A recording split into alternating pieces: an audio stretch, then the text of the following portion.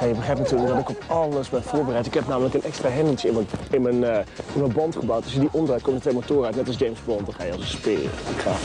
3, 2, 1, go!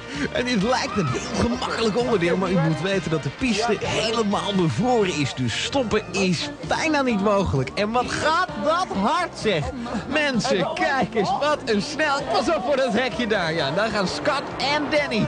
Bovenaan de heuvels uh, begint de strijd uiteraard onbeslist. Maar Danny lijkt daar toch een voorsprong te nemen. Kijk hem eens gaan. En hij vindt het leuk. Hij geniet ervan. Maar Scott gaat... Oh, gaat als eerste de finish over. Vreselijk, wat een toestand daar. Bovenaan die heuvel in St. Johan. Jay is uiteindelijk toch weer de snelste. En team 1 lijkt onoverwinnelijk en wint met een verschil van maar liefst 4 seconden. We won again. Oh, yeah, sorry guys. But he, yeah, yeah, yeah, you beat me. Yeah, yeah, it doesn't matter anyway. We won anyway. No, no, no, no, no, just kidding. Just kidding.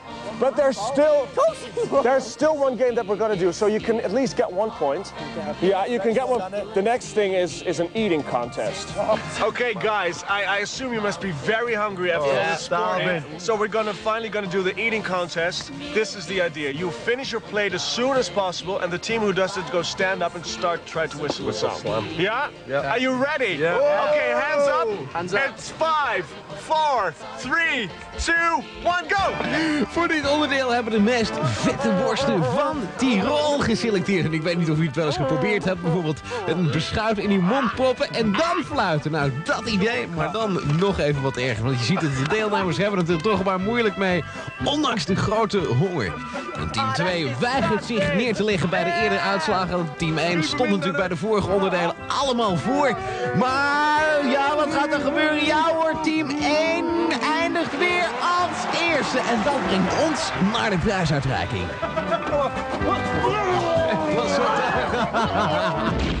right, gentlemen, this is the grand finale, and we're very anxious who won. So, Emily, come on out and tell us who won. Who was it? And the winner is team number one! Well,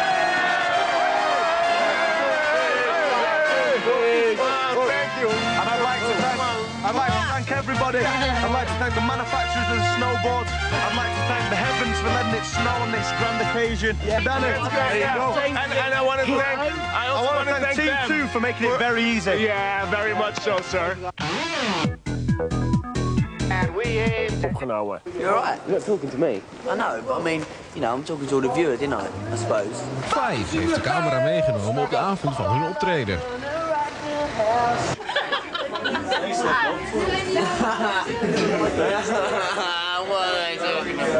Dat vond plaats in een originele stoelbe. En dat was nogal een cultuurshock.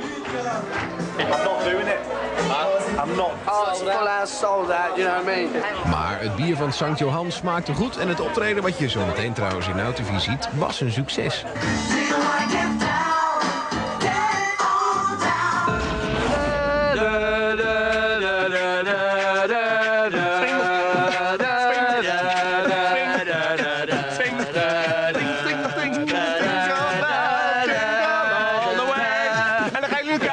Five grote hit. Slam dunk the funk. Put it up. Got that feeling. Five bad boys with the power to rock you. Blowing your mind, so you gotta get into. Five, what you waiting for? If you want a three, three, two, one, let's do it.